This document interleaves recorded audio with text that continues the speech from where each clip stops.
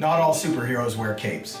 In fact, some wear scrubs. I'm State Representative Bob Merski, and I wanted to take a moment to thank the nurses of Erie County and nurses all across the Commonwealth on Nurses Week. Nurses are the heart and soul of healthcare, and we can never thank them enough for the hard work and dedication that they put in today and every day. Thank you, nurses.